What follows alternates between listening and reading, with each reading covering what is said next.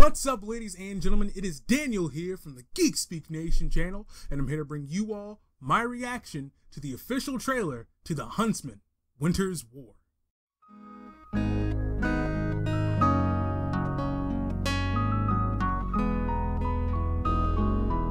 The Huntsman Winter's War is the sequel to Snow White and the Huntsman, dark, gritty reboot kind of thing that went on a few years ago and starred Kristen Stewart in the role of Snow White and Chris Hemsworth in the role of the Huntsman. And so now we have the sequel, and I believe Charlie Charlize Theron is returning as uh, the evil queen.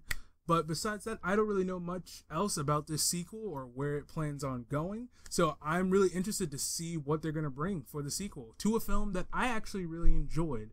Uh, I know some mixed reactions. Some people were just like, yeah, it was all right. But I enjoyed it all the way through and had a good time. So I can't complain about that.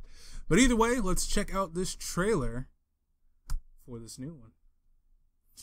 Okay, and here we go.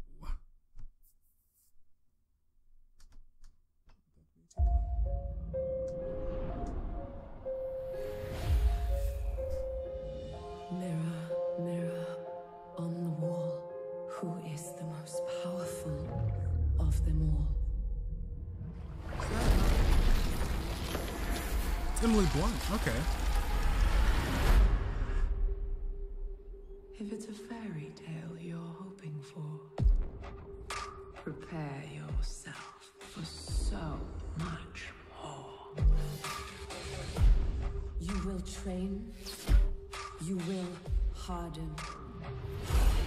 You will become my huntsman. The mirror's Yes, Jessica Chastain. Ultimate prize. In a war fought by two mighty sides. Whoever gets the mirror will be unstoppable. A pair in love. To defy a wicked queen. With twice the power this world has ever seen.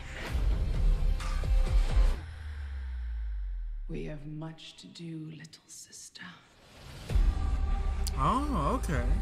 Men have forgotten what it means to be afraid. We will bring fear. Good choice. I'm headed straight for the castle. Girl. There's an old man sitting on a corner saying that I probably shouldn't be so mean. I'm headed straight for the castle. Straight for the castle. Don't miss. I never miss. Castle. Castle. Castle. Hello, huntsman.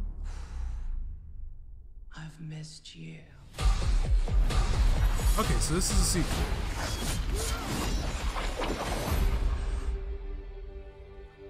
There you go. Okay. What are you gonna do? Take on two evil sisters and their entire army? I pretty much.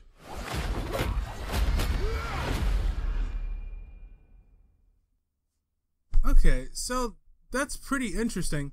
It it definitely feels a lot different than the other one did.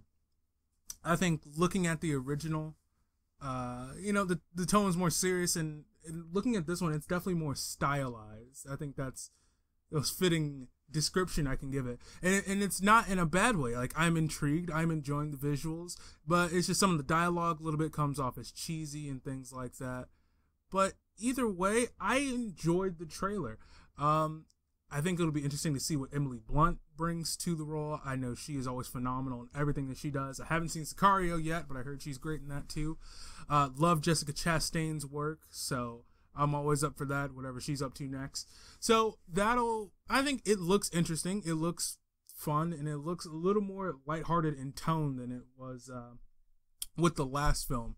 I'm going to check really quickly who the director of this film is, because it just, it doesn't feel like it's the same director. I know I think a lot of the visuals definitely hint at that, but uh,